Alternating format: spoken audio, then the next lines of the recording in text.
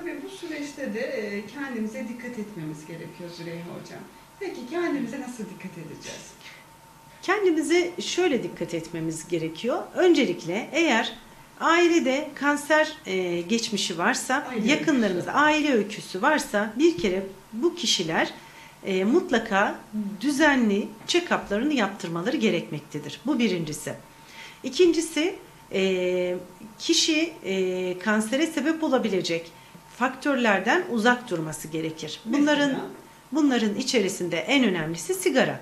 Sigara kullanımı e, akciğer kanseri gelişimine e, zemin hazırlayan en önemli faktörlerden birisidir.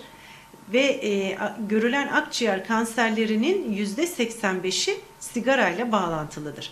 Bu çok önemli. Sigarayla yolumuzu ayıracağız. Sigaradan uzak durmaya Evet. çalışacağız. Bu önemli. Arkasından e, dikkatli besleneceğiz, dengeli besleneceğiz. Kışın kışlık sebze ve meyveleri, yazın yazlık sebze ve meyveleri tüketmeye çalışacağız. İşlenmiş gıdalardan uzak durmaya çalışacağız. Bol sıvı tüketeceğiz. Ve e, bunun haricinde de en önemlisi stresten uzak durmaya çalışacağız. Stres bizim için e, hastalığı zemin hazırlayan faktörler varsa bir de üzerine stres yüklendiyse e, o zaman hastalığın ortaya çıkması, kanser hastalığının ortaya çıkması daha e, fazla görülmektedir. O yüzden mümkün olduğunca e, stresten uzak durmaya çalışacağız. Yapılan çalışmalarda şöyle bir durum da var. E, hast- kişinin kişilik yapısı kanser oluşumunda e, oluşumu, kanser tedavisinde e, rol oynayan etkenlerdir. Bu nasıl bir kişilik yapısıdır? Kişiler e, iki tip kişilik yapısına sahiptirler. A tipi kişilik yapısı, B tipi, tipi kişilik yapısı. A tipi kişilik yapısına sahip olanlar çok mükemmeliyetçidirler, dakiktirler. Her şeyi anında olsun isterler. E, ve e, tahammülsüzdürler. Her şeyi dört dörtlük olsun isterler. E, ve çok gergindirler. Evet.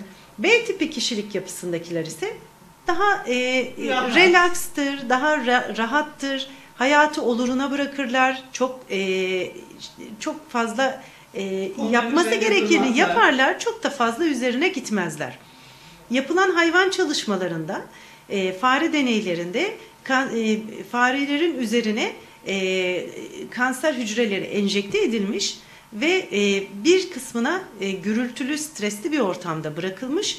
E, diğer e, farenin kanser hücresi enjekte edilmiş diğer fareye de e, sakin bir ortam oluşturulmuş.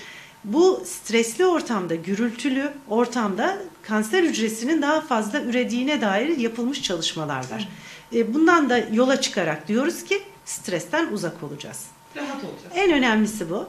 Ondan sonra e, dengeli besleneceğiz demiştim biraz önce.